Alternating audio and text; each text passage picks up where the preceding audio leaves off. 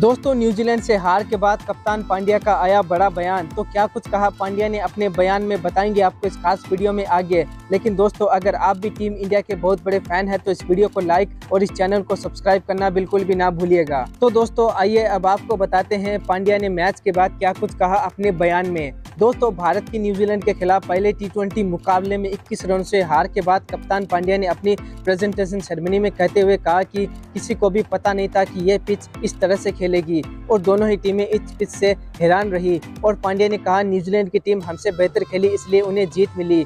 साथ ही पांड्या ने कहा, नई गेंद, पुरानी गेंद से ज़्यादा टर्न कर रही थी। साथ ही इस पिच का उछाल टीमों को सख्ते में डाल रहा था, पर न्यूजीलैंड की टीम ने काफ़ी अच्छी वापसी की। साथ ही पांड्या ने हार का दोष गेंदबाजों को दिया। पांड्या ने कहा कि ये पिच एक सौ छिहत्तर रन बनने के लायक नहीं थी।